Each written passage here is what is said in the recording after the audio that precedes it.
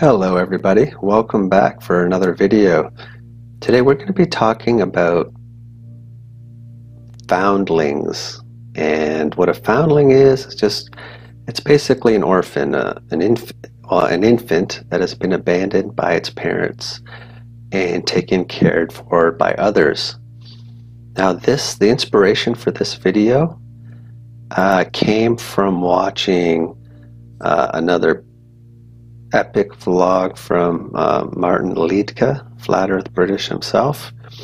And he does a, obviously a lot of good work.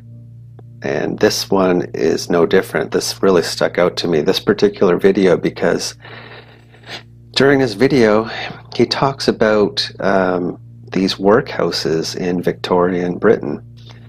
And uh, this really stuck out to me because a couple months ago, somebody brought to my attention this concept of um, orphan trains and uh, orphan trains, and these were trains that ran in New York City from New York City to rural areas with all these kids, and it's in this same kind of time frame. So at at the time, I didn't really know what to do with the information, but um, thank you, uh, Mr. Liedtke, for bringing this up. The fact that uh, London had the similar issues here, because now I could kind of see the bigger picture. So uh, let's start talking about some of this stuff here. So next, what I'd like to do is talk about uh, these foundlings in Victorian England. And I found a nice little article here talking about the Victorian women forced to give up their babies most unmarried mothers 150 years ago. Uh, this article is from 2015, so that puts us um, 1865 range. Most unmarried mothers 150 years ago had to hand over their babies to these foundling hospitals. Uh, there's a new exhibition that looks at what became of these women, which in the middle of the 19th century took in and raised the babies of fallen women. Uh, unmarried women who became pregnant, they had limited choices. So they had to, they ended up giving up their babies to these uh, foundling hospitals and asylums.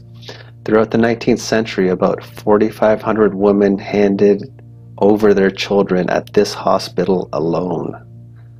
And apparently it's a museum, now a museum. Okay? But I just wanted to scroll down here.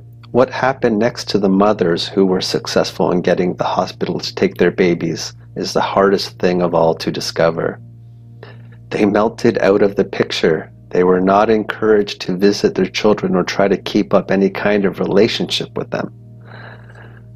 So there's this kind of breaking off with the parents uh, of the thousands of women who deposited their children during the 19th century, only two ever seem to have been in a position to claim them back. So we're just we're talking about just children with no connection to their parents. And this whole concept of women who uh, were fallen women, I think this is actually a cover story to account for all these kids. Why are they why are all these kids in these institutions. So, this lady, uh, Julie Miller, she wrote a book called uh, Abandoned Foundlings in 19th Century New York. And just a short description of her book. In the 19th century, foundlings, children abandoned by their desperately poor, typically unmarried mothers again, uh, usually short usually shortly after birth. Commonplace in European society, there were asylums in every major city to house abandoned babies. By the eve of the Civil War, so 1865, New York City in particular had an epidemic of foundlings on its hands. Due to the rapid and often interlinked phenomena of urban development, population growth, immigration, and mass poverty, only then did the city's leaders begin to worry about the welfare and future of its abandoned children. So again, this isn't an issue until like 1865. They're realizing, oh man, we have all these kids. What are we going to do? So you have all this infrastructure. Everything's, you know, all this infrastructure, all these buildings. But all of a sudden in 1865, um, all these foundlings, all these abandoned children, it's a, all of a sudden it's an issue. And again, I think this is all a cover story to account for why you have all these kids all being introduced into these cities. So I'm just going to play a little clip here. Uh, she's doing a, a reading of a section of her book. Are all foundlings? I had no idea that foundlings were once a reality in the United States. But they were, and in the 19th century, the American city that had the largest number of foundlings was New York. Over the course of the 19th century, the number grew. In 1796, the almshouse, which was the poorhouse, counted a total of 12 what they called orphans and foundlings combined. By the 1840s, the almshouse was starting to note in their reports that the number of foundlings was numerous, and they were worrying that the number was growing. Um, after the Civil War, you may be surprised to learn that there were four foundling asylums in New York City. By the first half of the 1880s, these, these asylums were collect collectively gathering an annual average of over 2,000 infants. And I should be clear, these were infants that were both gathered on the street and also born in the asylum. In other words, one of the purposes of the asylum was to give women a place to give birth to their children who they might otherwise have abandoned. This led me to wonder where this epidemic of foundlings came from, what foundlings' lives were like, and why the epidemic, epidemic subsided so that today we hardly remember that it ever existed. In other words, this is an enormous building. It's gone, and we have forgotten that it was ever there or its inmates were ever there. So she's just pointing out the fact that this problem reaches uh, the highest levels in the mid 1860s. So um, let's take a look at this is one of the first um, uh, foundling uh, houses and um, or asylum, sorry, and you could tell it's got the stairways going up to this floor. Looks like a mud flood type building, and um, yeah, so I just wanted to point that out.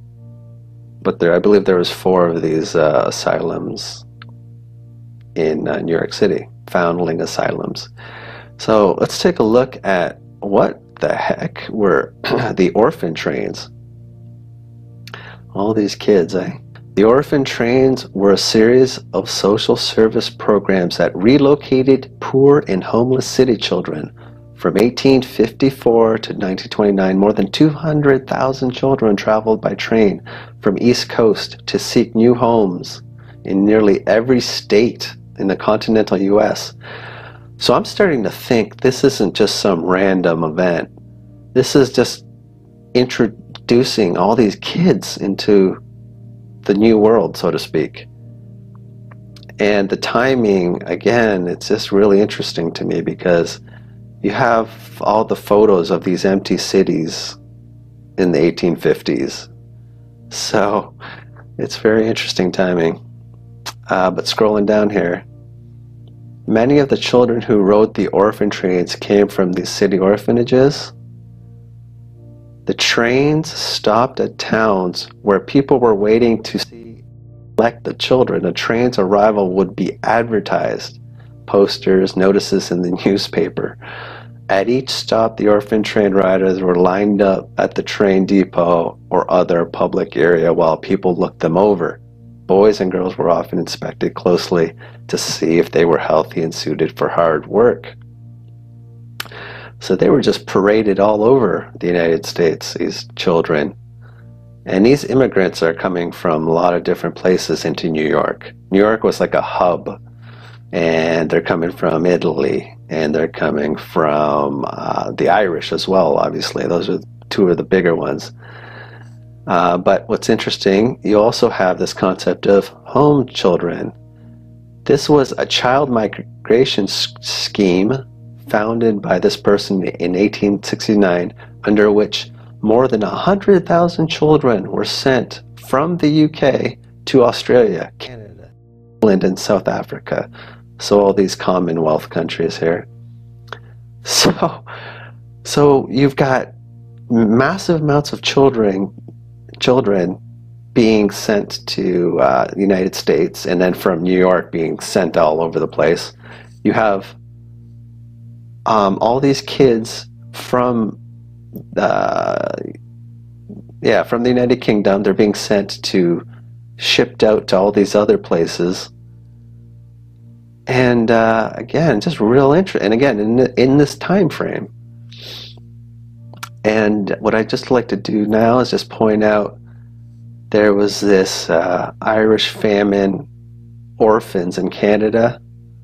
Thousands of children became orphans during the 1847 Irish famine migration to Canada. It was it used to be called British North America. Yeah, so you had in the late 80, 1840s there was a, a major wave of immigration to what is now Canada. Uh, nearly 90,000 of these immigrants landed at Grosse Ile. Children of the famine, the num- number of children, of child migrants who became orphan in 1847 was unprecedented. Uh, Grosse Ile usually dealt with around 10 orphans per year but there were over 100 in less than a month into 1847. By the year's end, thousands of children had become orphans. The exact number is hard to determine given that many were informally placed out and left no trace in the record. Approximately 9 out of every 10 orphans were Catholic. So you had all these orphans, and there was no record of them. They, they couldn't be traced and I think this whole thing is a cover story to account for a bunch of kids showing up. Now let's take a look at Abandoned Children of Imperial Russia. Um, they established a couple of foundling homes in Moscow and St. Petersburg. And what I'd like to show you now is how it's not till the late 1800s where things really escalate. To give a clear idea, by the 1880s, the Moscow Home alone was receiving between 16 and 18,000 infants annually and sending over 10,000 of these each year to outlying district villages for care. So it reaches a fever pitch in the 1880s in the Moscow Foundling Home. In 1882, there were all told 41,000 foundlings from the Moscow home living with 32,000 foster families scattered throughout 4,000 plus villages. So they're just like the United States, they're being, you know, deposited in these foundling homes in the major cities in Moscow and St. Petersburg, and they're being uh, distributed to the rural areas. And what I'd like to mention here is that with respect, this is an interesting component, with respect to the delivery of the children to the foundling home, while they often arrived individually in the arms of mothers or midwives, there were also whole cartloads regularly trucked in by women known as komishnierki did unwanted children in the villages and district towns, cared for them temporarily, and then when enough had been gathered to make the journey profitable, they packed the infants into a wagon and hauled them to the metropolitan foundling home. So these children supposedly are, are being packed up in the villages and sent to these foundling homes in the big city, and then from there redistributed to the villages. So that's kind of an interesting situation going on there. And I just wanted to bring up this point. By the end of the 19th century, the traffic had developed to the point that children were coming into the metropolitan homes not only from the capital cities and their surrounding provinces, they were being sent in from shelters as far away as the Black Sea, the Volga Basin, and even the Ural Mountains. Children in from all over the country were processed and then streamed out to fill the villages of central Russia. So the same thing that's going on in Europe and uh, in the United States, it's happening in Russia. And now let's take a look at Italy. Infant abandonment in Italy. Throughout Catholic Europe, infants were being abandoned in huge numbers in the 19th century, deposited at foundling homes established for their care. In France in the 1830s, about 32,000 infants were abandoned per year. In Spain and Portugal at this time, about 15,000 each.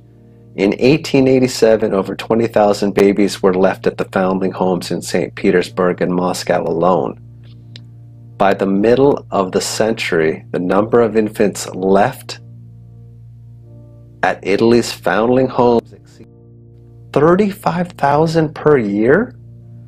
At the time, Italy had over 1,200 approved places at which newborns could be left.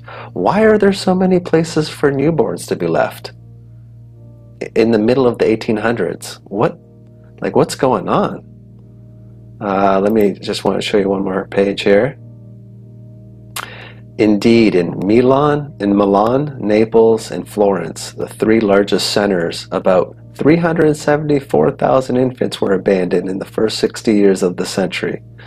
Milan and Florence were exceptional. As many as 35 to 43 percent of all babies born there were left at the foundling homes in the mid 19th century. Same time frame, 35 to 43 percent of all babies born there were left at the foundling homes.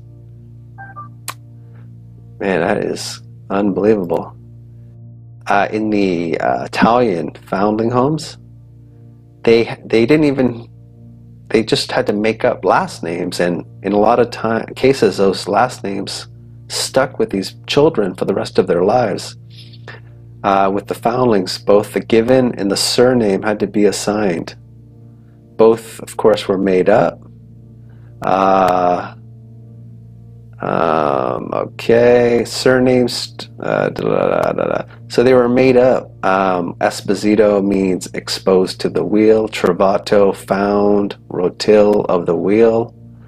Other times, chosen surnames refer to the location where the child was found, like Gradini or Del Rio of the river.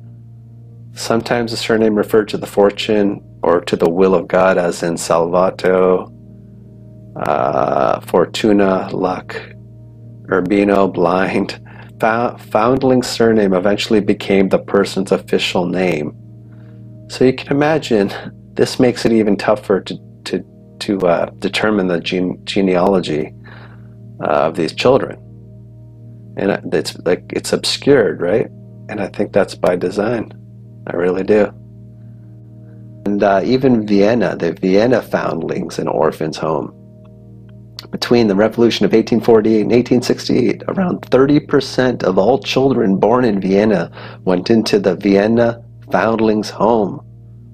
Again, mid 1800s, 30%? Unbelievable. And yeah, just and just going back to the the uh, children in the United States, uh, they were all put to work you had children um, handing out newspapers. They had children working the mines, working cotton mills in the southern states, and uh, factories, of course, home workshops. They're working the farms. So I think that they needed these kids to work because there was all this infrastructure and they just didn't have enough manpower. So they had to put these kids who came from wherever, they had to put these kids to work. So, uh, you know, I think I'll leave it here, but the picture that I'm trying to paint is that you have this phenomenon of all these orphan kids just being dumped off at these um, these foundling homes, orphanages, basically for children, and from from there they're being shipped to like uh, rural areas and uh, it's kids are just being moved all around the world in this at this time. They're being shipped from Britain and all over. So just a weird phenomena. So I think this kind of concept that I think we got reintroduced into these cities in the 1800s. Like there were people around for sure, early 1800s, but in the 1850s and 60s, that's when things ramp up, I believe. Uh, I don't believe the official history, and I think that there was a previous civilization and it got um, cataclysms. They were mostly destroyed, but some of their cities survived, and we moved back into their cities. And I think this whole phenomena of these foundlings is a cover story to account for all these children being reintroduced to the to these cities, and they're being just from the major hubs in these cities, they're being deployed to the rural areas, and it's it's an interesting rabbit hole for sure. But I guess I'll leave it here for now. But uh, until next time, take care. Bye.